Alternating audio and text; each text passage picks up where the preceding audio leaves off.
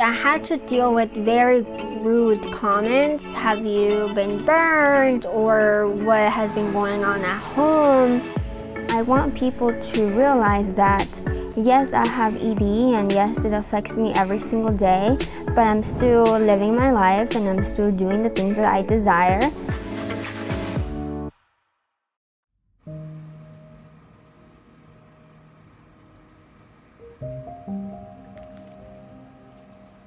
My name is Ariana Covarrubias and I am 20 years old.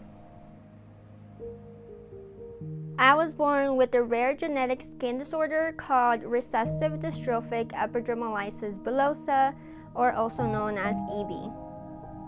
I would describe EB as a skin condition in which makes your skin extremely fragile and easy to blister with any friction. My skin easily shears open, causing a blister or wound that is very painful and hard to manage. I was actually born with the second most severe form of EB, in which makes my wounds and open areas look like third degree burns.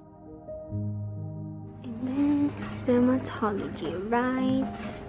there. I would say one of the worst parts about having EB would have to be having to change bandages and it being so painful and every time you're taking off a bandage seeing the constant reminder of how little control you have over your body. EB affects me in many more ways that I could ever explain. The activities that can cause blisters on my body are oftentimes things that people take for granted. For example, I get blisters in the inside of my mouth due to eating. Sometimes even showering can be very painful because the water can cause more damage to my skin. Okay guys, so we're finishing bandages. It's taking us like an hour or so. My feet are actually one of my worst areas due to walking because the constant pressure of walking causes blisters on the bottom of my feet. Say hi, princess.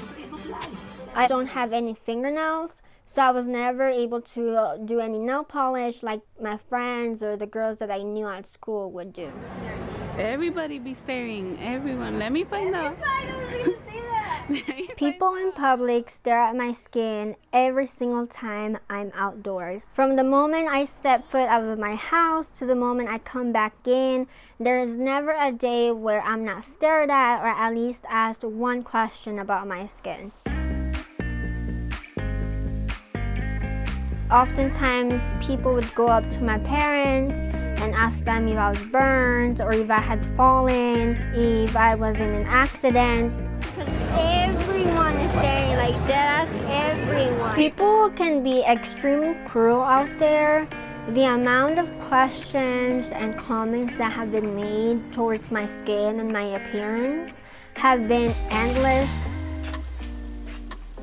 In 2007, I got my feeding tube was because my esophagus got so narrow from all the blisters and scarring that I could not eat anything or even swallow my own saliva. Basically, I put this on my G-tube and then the syringe, we connect it to this insert right here. For several years, I was connected to a machine in which would feed me every few hours. Then once I got older and I reached puberty, I started to gain some strength in eating. Having a feeding tube gives me mixed emotions because I am unable to wear the crop tops and certain types of clothing like the rest of the girls my age do and that makes me at times feel self-conscious and not as confident However, in recent months, I started to share pictures where my hidden button was on show and it became visible to thousands of people.